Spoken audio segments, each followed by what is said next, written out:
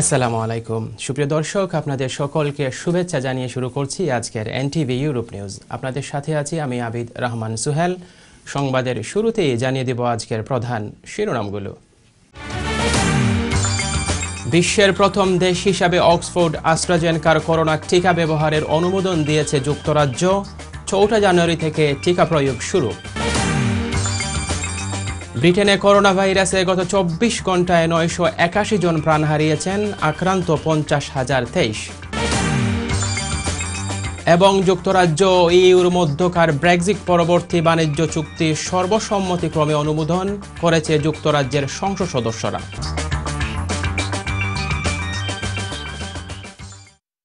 শুনছিলেন শিরোনাম, এবার বিস্তারিত। দর্শক, শুরুতেই ব্রিটেন প্রসঙ্গ। বিশ্বের প্রথম দেশ হিসাবে অক্সফোর্ড আস্ট্রাজেনকার করোনা টিকা ব্যবহারের অনুমোদন দিয়েছে যুক্তরাজ্য। যুক্তরাজ্যের ওষুধ নিয়ন্ত্রণ সংস্থা medicine and health care regulatory agency এ টিকা দেশটিতে ব্যবহারের জন্য অনুমোদন দিয়েছে। স্বাস্থ্যমন্ত্রী ম্যাট হ্যানকক জানিয়েছেন, আগামী চৌঠা জানুয়ারি থেকে এই টিকার প্রয়োগ শুরু করা হবে। বিস্তারিত দেখুন রিপোর্টে। অপেক্ষার পালা শেষ। এখন নিজ দেশের তৈরি টিকা দিয়েই করোনার বিরুদ্ধে লড়বে ব্রিটেন। বিশ্বের প্রথম দেশ হিসেবে অক্সফোর্ড অ্যাস্ট্রাজেনেকার করোনা টিকা ব্যবহারের অনুমোদন দিয়েছে বরিস জনসনের প্রশাসন। যদিও এই টিকা করোনা নতুন স্ট্রেনের উপর কাজ করবে কিনা তা এখনও পরীক্ষিত নয়। স্ট্রাজেনেকার সহযোগিতায় অক্সফোর্ড বিদায়ী বছরের প্রথম মাসে কোভিডের টিকার সন্ধানে নামে। ওই সময় প্রতিষ্ঠানটির গবেষকেরা সেপ্টেম্বরের ভেতরে টিকা তৈরির আশা দেখিয়েছিলেন। কিন্তু এ ট্রায়ালে কয়েকজন অসুস্থ হওয়ায় ভবিষ্যৎ নিয়ে শঙ্কা দেখা দেয়। অবশ্য তৃতীয় ধাপের ট্রায়াল শেষে এই টিকা কার্যকর বলে দাবি করা হয়। ফাইজারের টিকা প্রয়োগের মাঝেই অক্সফোর্ডের টিকার অনুমোদন পাওয়ায় বিষয়টি যুক্তরাজ্যের জন্য একটি গুরুত্বপূর্ণ টার্নিং পয়েন্ট বলে মনে করছে দেশটির সরকার। সকল তথ্য উপাত্ত যাচাই করে যুক্তরাজ্যের ওষুধ নিয়ন্ত্রক সংস্থা medicines and health care regulatory agency Oxford এস্ট্রাজেনেকার তৈরি টিকার অনুমোদন দিয়েছে। আমরা দশ কোটি ডোজ অর্ডার দিয়ে রেখেছি। আগামী চার জানুয়ারি থেকে এই টিকার প্রয়োগও শুরু হবে। যুক্তরাজ্যের ওষুধ নিয়ন্ত্রক সংস্থা বলছে আঠারো বছরের কম বয়সীরা এই টিকা পাবে না। Has been approved for use in people aged 18 years and older. ভারতে অক্সফোর্ডের টিকা উৎপাদনের সঙ্গে যুক্ত হয়েছে সেরাম ইনস্টিটিউট অফ ইন্ডিয়া। তারা এই টিকার জরুরি ব্যবহারের জন্য অনুমোদন চেয়ে ইতিমধ্যে ভারত সরকারের কাছে আবেদন করেছে। ভারত সরকার অনুমোদন দিলেই চুক্তি অনুসারে বাংলাদেশও এই টিকা পাবে। ফাইজার বায়োএনটেক বা যুক্তরাষ্ট্রের কোম্পানি মডার্নার তৈরি টিকার তুলনায় অক্সফোর্ড এক্সট্রাজেনেকার টিকা সংরক্ষণ, পরিবহন ও ব্যবহার তুলনামূলক সহজ। তাছাড়া দাম কম হওয়া এবং সহজে উৎপাদন করা যায় বলে অক্সফোর্ডের টিকা করোনা ভাইরাসের টিকাদান কর্মসূচিতে অনেক বেশি গতি আনবে বলে আশা করছেন গবেষকরা। Munazil Riyad, NTV international desk. যুক্তরাজ্যে করোনার নতুন স্টেন রীতিমতো তাণ্ডব চালাচ্ছে। দৈনিক সংক্রমণের সংখ্যা পঞ্চাশ হাজার ছাড়িয়েছে। অক্সফোর্ড ও আস্ট্রাজেনকার ভ্যাকসিনের অনুমোদন আসার আলো দেখাচ্ছে। এসব বিষয়ে সর্বশেষ জানতে আজও ডাউনিং স্ট্রিটে সংবাদ সম্মেলনের আয়োজন করা হয়। প্রধানমন্ত্রী বরিস জনসন সংবাদ সম্মেলনে বক্তব্য প্রদান করেন এবং সাংবাদিকদের বিভিন্ন প্রশ্নের জবাব দেন। দর্শক, চলুন সংবাদ সম্মেলনের কিছু অংশ দেখে আসি।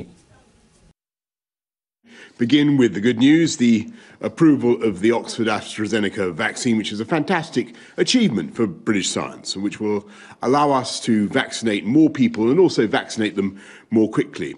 And there's one important development that's helping us to accelerate our vaccination programme across the whole of the UK.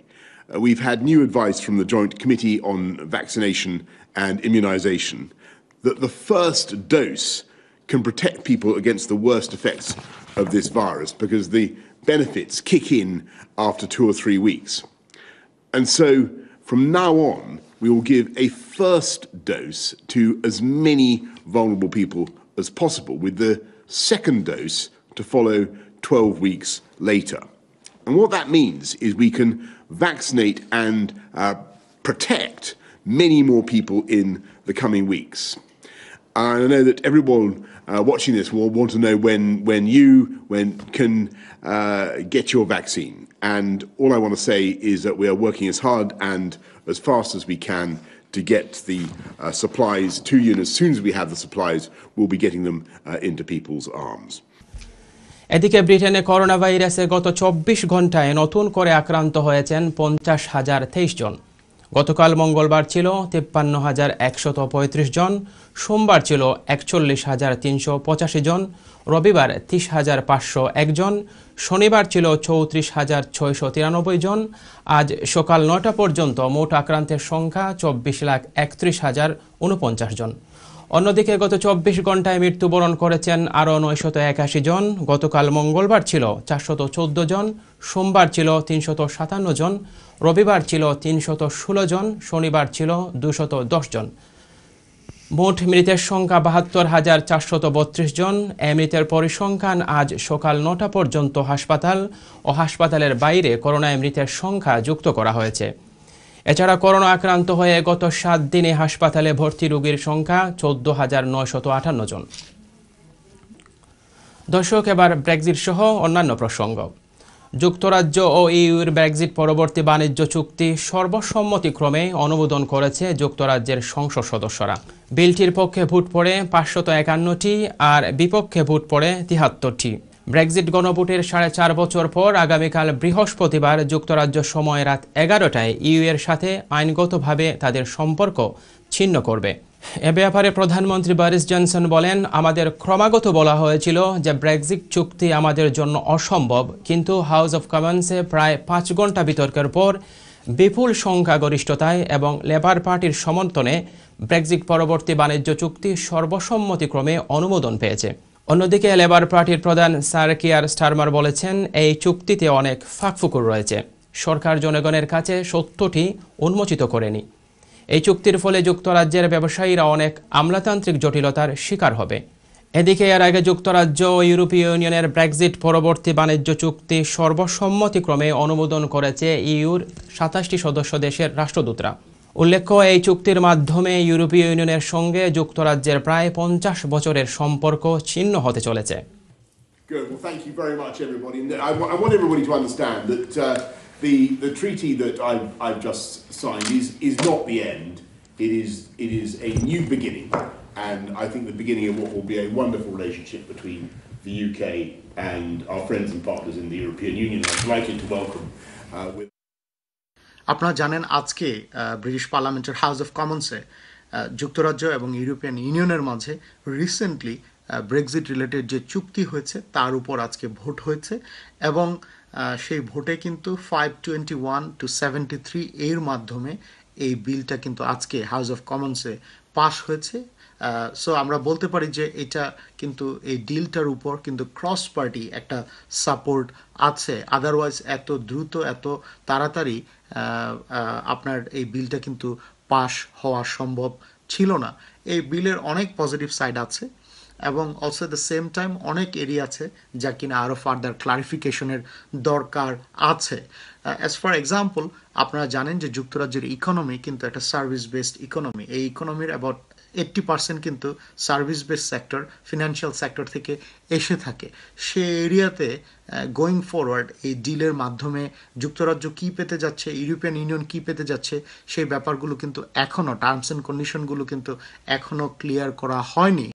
যেটা কিনা এক্সপার্টরা বা বিরোধী দলও কিন্তু সেই ব্যাপারে বেশ কিছু মন্তব্য করেছে, যেটা কিনা government should take into serious consideration এই বিলের অনেক ভালো ভালো জিনিস আছে, যেমন ফর এক্সাম্পল গোয়িং ফরওয়ার্ড যুক্তরাজ্য এবং ইউরোপিয়ান ইউনিয়নের মাঝে যেসব তারা যেই প্রোডাক্টগুলো একজন আরেকজনের কাছে সেল করে they can continue doing that সেই ক্ষেত্রে তাদের এডিশনাল কোনো ট্যাক্স লেভি ট্যারিফ পে করতে হবে না। ইন টার্মস অফ ট্রান্সপোর্ট তারা বলছে যে কোনো ধরনের বাধার সম্মুখীন হবে না। হাউএভার এক্সপার্ট যারা আছে তারা কিন্তু বলছে যে এটা দুই পক্ষের জন্যই this will be a bumpy beginning so both parties then it to watch what is going to happen in near future but uh, so far so of course আমাদের দেখতে হবে গোয়িং ফরওয়ার্ড কি হয়। দরজায় কড়া নাড়ছে নতুন বছর নতুন বছর মানেই নতুন স্বপ্ন, নতুন প্রত্যাশা।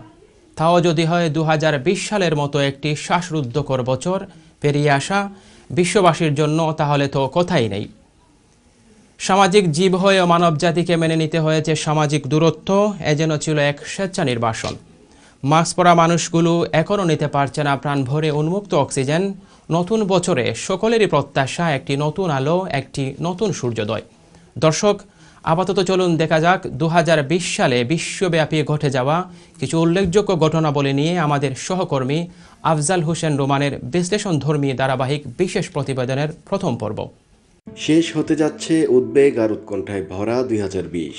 রেখে যাচ্ছে প্রিয়জন হারানো, সর্বস্ব খোয়ানো, চাকরি হারানোর মতো কিছু অপ্রিয় স্মৃতি। পুরো বছর জুড়ে যে বিষয়টি ছিল আলোচনার শীর্ষে, তা হলো করোনা ভাইরাস কোভিড নাইন্টিন এলোমেলো করে দিয়েছে বিশ্বের হিসেব নিকেশ দুই হাজার উনিশের একত্রিশে ডিসেম্বরে চীনের হুবেই প্রদেশে প্রথম ধরা পড়লেও সংক্রমণের হার বিবেচনা করে দুই হাজার বিশের এগারোই মার্চ বিশ্ব স্বাস্থ্য সংস্থা কোভিড নাইন্টিনকে বিশ্ব মহামারী হিসেবে ঘোষণা করে In the past two weeks, the number of cases of COVID 19 outside China has increased 13 fold. And the number of affected countries পৃথিবীব্যাপী, এই ভাইরাসে সংক্রমিতের সংখ্যা সাত কোটি আটষট্টি লক্ষেরও বেশি, আর মৃতের সংখ্যা সতেরো লাখ ছাড়িয়েছে। বছরের রাজনৈতিক অঙ্গনে উত্তাপ ছড়িয়েছিল যুক্তরাষ্ট্রের ছিচল্লিশতম প্রেসিডেন্ট নির্বাচন। চৌঠা নভেম্বর অনুষ্ঠিত নির্বাচনকে ঘিরেছিল বিশ্ববাসীর চোখ। ফলাফল ঘোষণার পরেও নাটকীয়তার অবসান ঘটেনি। ইলেকটোরাল কলেজের ভোটে ডেমোক্রেটরা জয়ী হলেও মেনে নিতে পারছে না রিপাবলিকানরা। কংগ্রেসের যৌথ অধিবেশনে আগামী ছয় জানুয়ারি, আনুষ্ঠানিক গণনার পর আগামী বিশে জানুয়ারি ডেমোক্রেট প্রার্থী জো বাইডেনের শপথ নেবার কথা। এদিকে, আমেরিকার ইতিহাসে প্রথম ভাইস প্রেসিডেন্ট হয়েছেন একজন নারী। শুধু নারী বললে ভুল হবে, কমালা হ্যারিস প্রথম কৃষ্ণাঙ্গ এবং দক্ষিণ এশীয় বংশোদ্ভূত ভাইস প্রেসিডেন্ট হয়েও ইতিহাস তৈরি করেছেন। ফুটবল প্রেমীদের স্তব্ধ করে দিয়ে ঠিক এ বছরটিতেই না ফেরার দেশে চলে গিয়েছেন বিশ্বের সর্বকালের অন্যতম সেরা ফুটবলার দিয়েগো আর্মান্দো ম্যারাডোনা। বিশ্ব ফুটবলের রোমাঞ্চ ছড়ানো কিংবদন্তি এই ফুটবল জাদুকরের ষাট বছরেই জীবনাবসান হয়। উনিশশো ছিয়াশি সালে আর্জেন্টিনাকে প্রায় একাই বিশ্বকাপ এনে দিয়েছিলেন তিনি। পরের বিশ্বকাপেও দলকে নিয়ে গিয়েছিলেন ফাইনাল পর্যন্ত।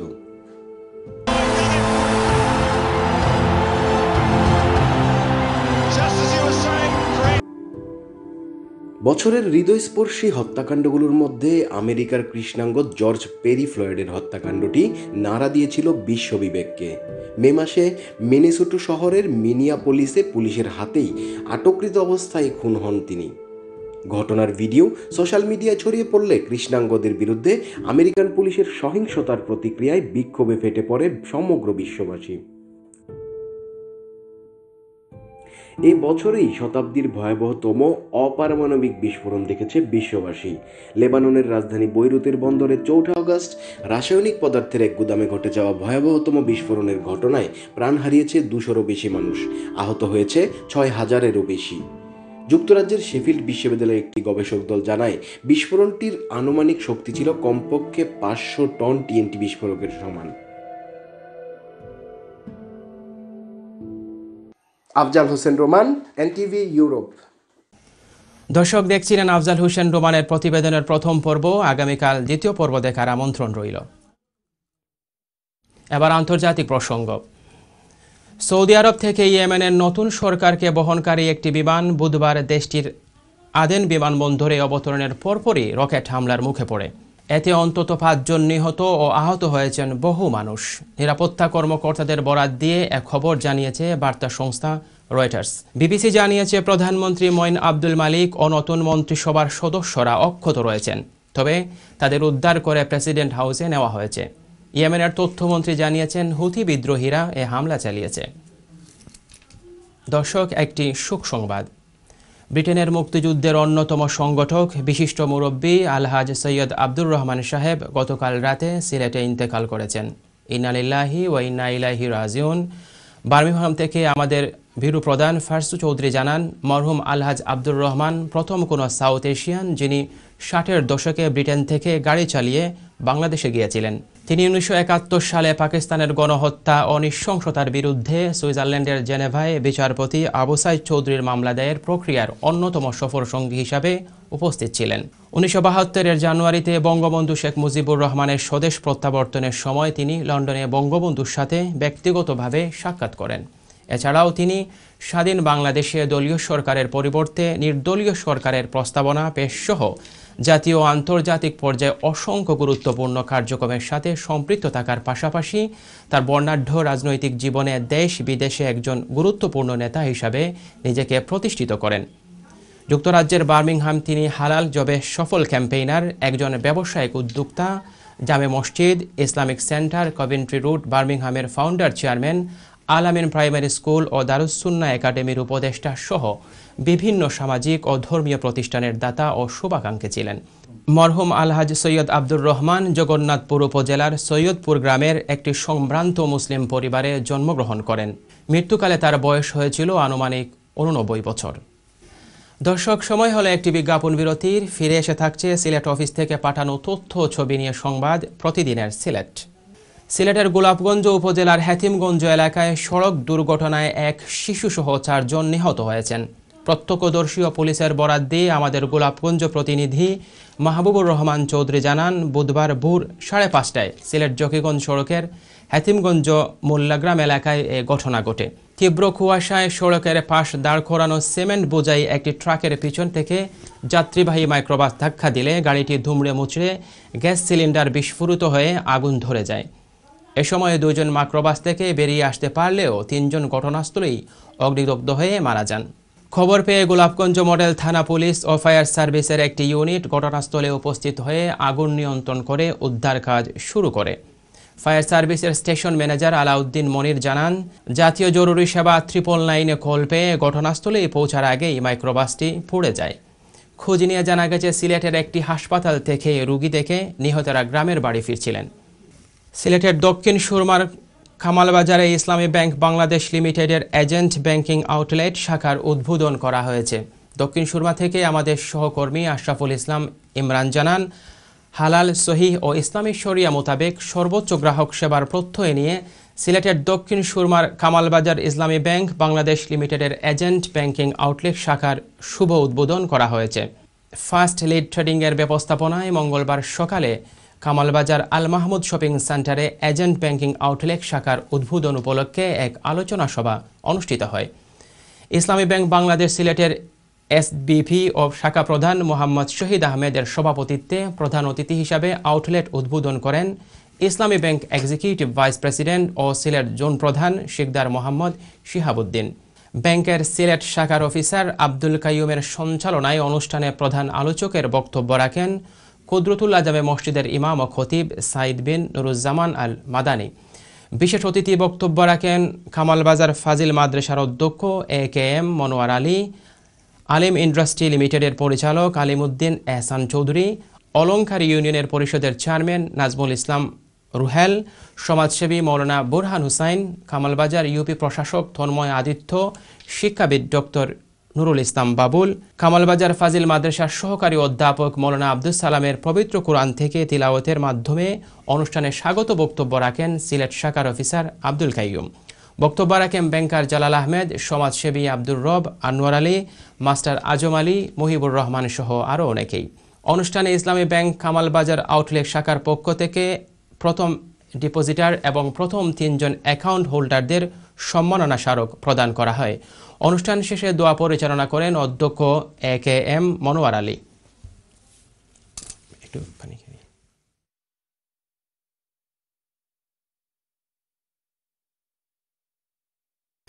সিলেটের গোলাপগঞ্জে জমিয়তে উলামায়ে ইসলাম বাংলাদেশ বুধবারী বাজার ইউনিয়ন শাখার উদ্যোগে শীতার্ত মানুষের মাঝে শীত বস্ত্র বিতরণ করা হয়েছে। সোমবার সকাল এগারোটায় বহরগ্রাম জমিয়ত কার্যালয়ে বিতরণ অনুষ্ঠানে পবিত্র কোরআন থেকে তিলাওত করেন হাফিজ হুসাইন আহমেদ। আমাদের গোলাপগঞ্জ প্রতিনিধি মাহবুবুর রহমান চৌধুরী জানান বুধবারী বাজার ইউনিয়ন জমিয়তের সভাপতি আলহাজ শামসুদ্দিনের সভাপতিত্বে ও যুগ্ম সম্পাদক মৌলানা রশিদুর রহমানের সঞ্চালনায় অনুষ্ঠানে বক্তব্য দেন গোলাপগঞ্জ উপজেলা জমিয়তের সাধারণ সম্পাদক হাফেজ মাওলানা আলী আহমেদ। ইউনিয়ন জমিয়তের সেক্রেটারি ও সম্ভাব্য চেয়ারম্যান পদপ্রার্থী কারি মাওলানা খলিলুর রহমান, লন্ডন মহানগর জমিয়তের যুব বিষয়ক সম্পাদক হাফেজ মাওলানা নাসির উদ্দিন আহমেদ। এ সময় বক্তারা বলেন, সরকারের পাশাপাশি সমাজের বৃত্তবান ব্যক্তিরা এগিয়ে আসলে শীতার্ত মানুষের কষ্ট দূর করা সম্ভব। বাজার ইউনিয়নের শীতার্ত মানুষের জন্য জমিয়তে উলামায়ে ইসলাম তাদের সাধ্য অনুযায়ী কাজ করে যাচ্ছে।